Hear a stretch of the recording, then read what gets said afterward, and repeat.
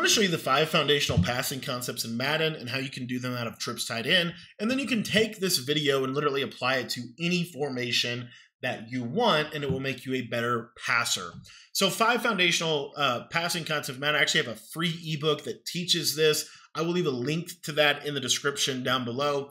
This is one of my favorite little frameworks for looking at the game because it really does uh, look at timeless principles that apply no matter what year of Madden that you're playing.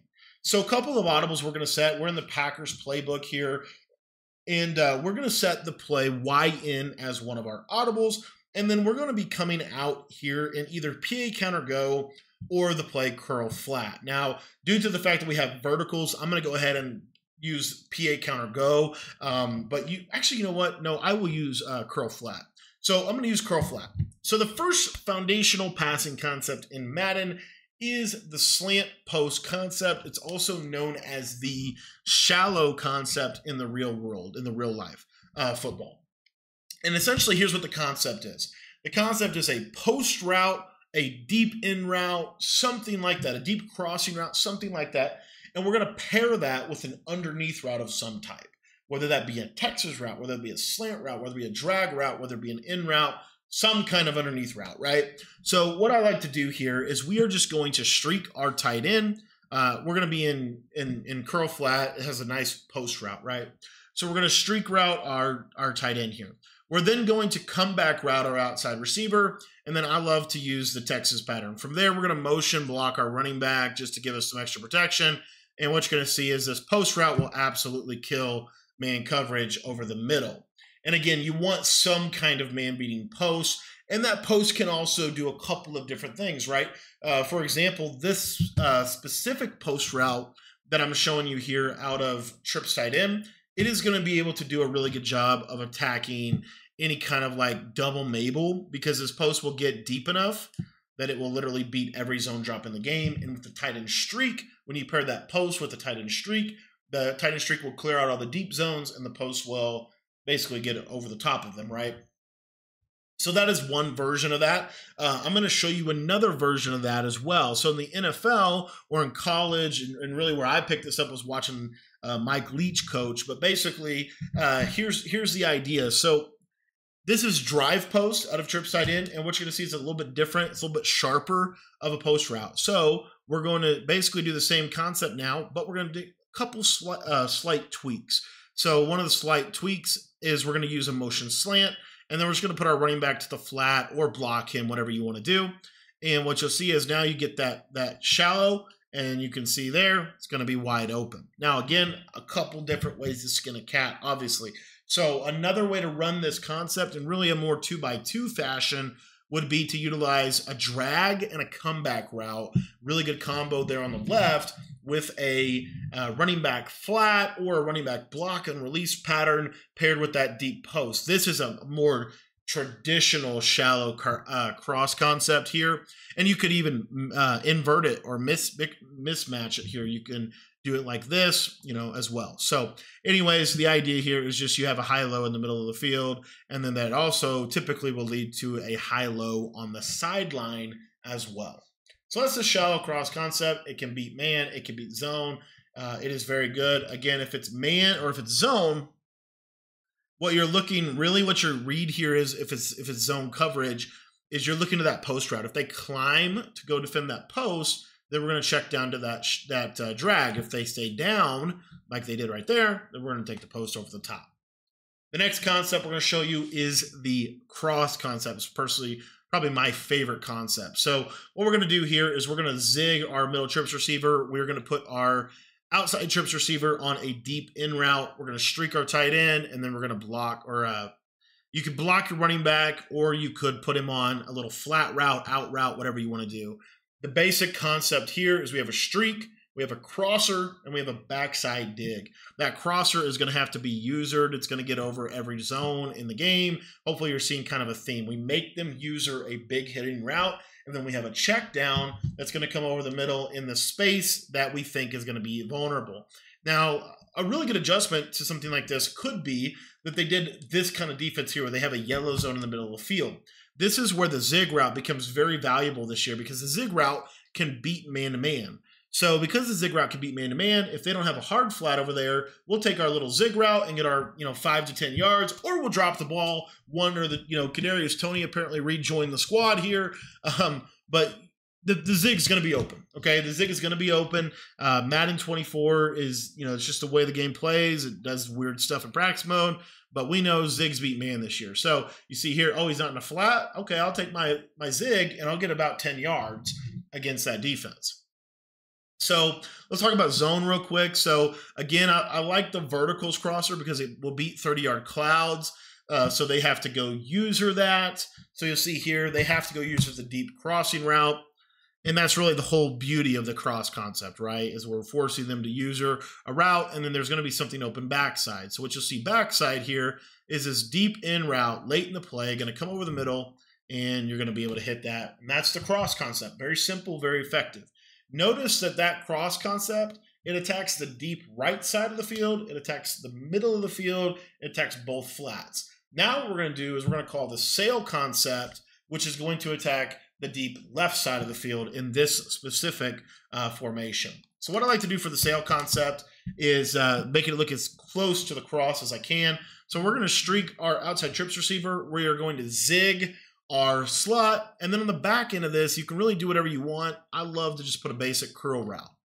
And what you're going to see here is your corner route is now going to be the route that we're looking to hit over there on the left side. Sail traditionally is not as good of a man beater, um, especially this year. Corner routes are not as good against man as they have been in years in, in years past. So just keep that in mind. But the, the principle is this corner route You'll see here cuts to the sideline, and it should beat man. Doesn't beat man right now uh, as well, and and part of that honestly uh, is practice mode. Part of that is practice mode. The whip route also will beat man, so they have to hard flat to take away the whip, uh, which is again why I love zig routes this year. And then uh, you'll see here, this time we actually get a little better separation. We still drop it. Awesome throw by Michael Vick, just textbook. Um, it's because I'm running the play action the wrong side. But anyways, um, that's that's the route combo, and then and then typically what'll happen is they'll go user that, or they'll go to the left. So when they see a concept like this, they typically go to the left side of the field. So when they go to the left side of the field, this is what's cool about this play this year. This curl, if you throw it right on the cut, right on the break, it's going to beat man. And you can pair this curl with whatever you want to do backside. So, for example, let's say you want to do a little uh, running back out route, and now you have you know a five out version of this this is really good as well. And then let's say a little bit more, I mean, this is a little bit more zone specific, but this is a pretty good zone beater um, because of how good the trail route is this year. So you'll see that trail route cooks man as well, by the way. So you could kind of mix and match what you want to do on the back end of this. But the main concept here is we're trying to attack the deep let the basically we're trying to attack the left side. We're trying to attack the deep sideline, the intermediate sideline, the flat area of the field, and then uh, and then you know maybe a little Texas route over the middle. And and again, you can kind of piece this with whatever you want to do. But having something coming over the middle is always good. So they have to keep their user in the middle of the field. And so this really puts a lot of strain on the defense, especially if the defense has decided, well, you know what I want to do is I want to play um, you know, a little bit more heavy to the right side, and the user is going to help a little bit more over here. A concept like what I'm showing you right here is going to be a really good way uh, to attack that. So you see here, you got your little whip route. Um, no hard flat over there. I could have thrown the whip, but I also have that nice deep corner over the top. So cross attacks the right sideline uh, Sail attacks the left sideline. So now, what what are they going to start doing, right? Well, what their natural response is going to be when you start to attack them in those couple different ways that I was showing you is you're going to get a defense that looks something like this, where essentially we're going to have heavy sideline protection, but we're not going to have middle of the field protection, right? The big area and space that's going to be open is going to be the middle of the field. Okay. Uh, so what I like to do is utilize a stick concept in that scenario. And typically you can do it a couple different ways. Uh, what I like to do here is we're going to hitch uh, the circle receiver. We are, or I'm sorry, we're going to zig the circle receiver. We're going to uh, Texas right our running back, streak this defender right, or this uh, tight end. And then we're going to curl this outside player. What this does is it attacks the middle of the field. So the tight end's going to clear out the user, and then your running back's open there, and then you also have that right there. So again, there we're forcing them to use the, the post, right? It's the best route on the play. So because we're forcing them to use the post route, where are they going to go off of the snap of the ball? Well, they're probably either going to go to the left here, or they're going to work to from the tight end to the post right? Typically. So what that does is it leaves this middle of the field open.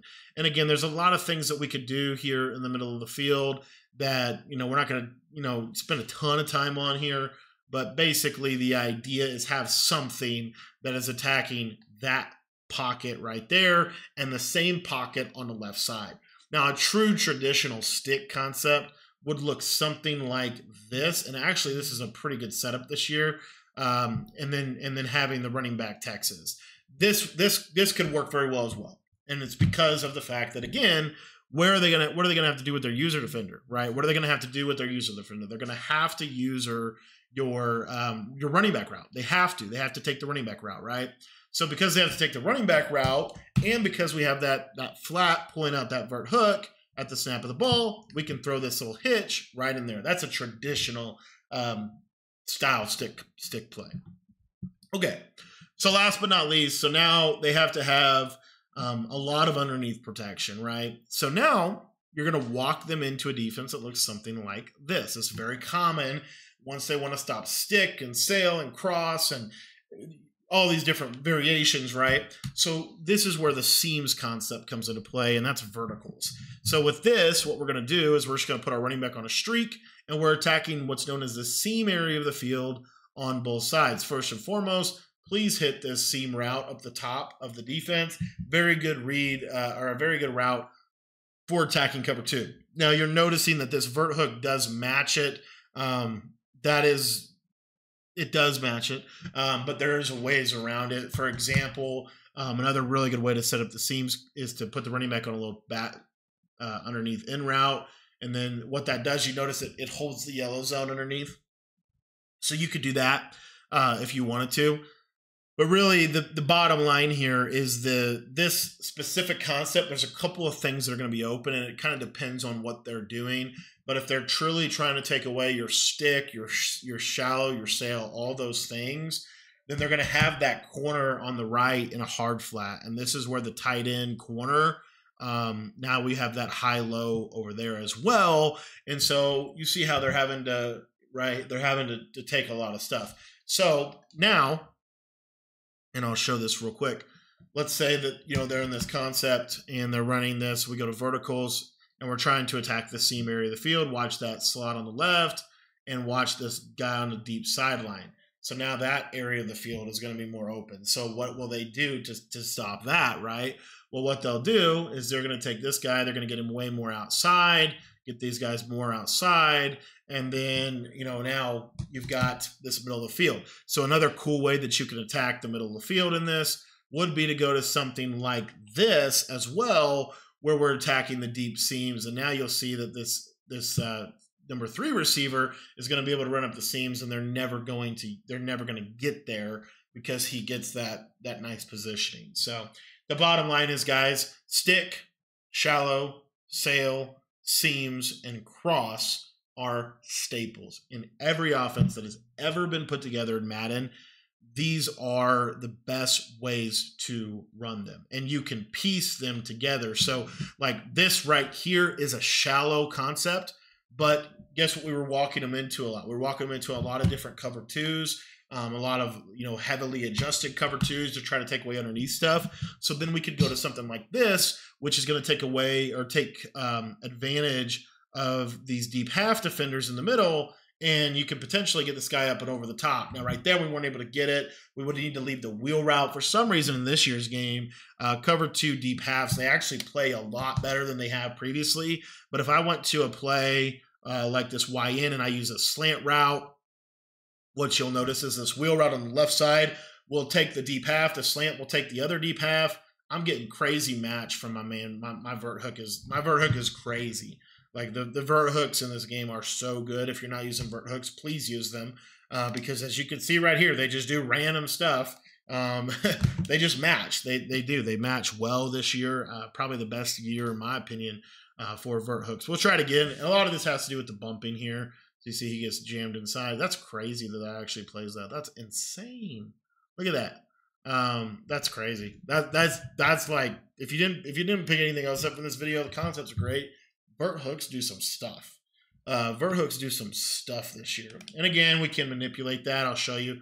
So if we want to truly manipulate a vert hook and they don't have a hard flat over here, just boom, because he has to match. That vert hook has to take the, the deep seam. So anyways, uh, easiest way to manipulate a vertical hook real quick is to not go to the number two receiver. So uh, let's go Pat's, uh, Pat's YN again. And we're just going to flip who's on what routes. So just by flipping who's on what routes, you see here the vert hook stays down. And now this guy has a chance to get over the top. Deep halves are good. I have to tell you, deep halves are really good. Um, and then I'll show you one other thing with that. So, and again, I already talked about this a little bit, but the idea of, of again, attacking in the seams. So something like this. And what you'll see here is now the circle receiver can hit up the seam. I'm telling you, use deep halves. They're so good. But basically, that's the idea. Some kind of seams concept. I'll give you one other seams concept because I don't really like how that uh, that last part happened there. You could do this right here: running back text or running back wheel with a seam. Boom, and then if the running back's matched up on a linebacker this year, we know that that beats man. Okay, so stick, shallow, cross, sail, seams, best ways to pass in Madden, and you can apply these principles to every formation in the game. And if you want to get my free ebook that goes a lot more in depth on these concepts and actually really dives deep into why they work, it's free. You can sign up by clicking the link down in the description below.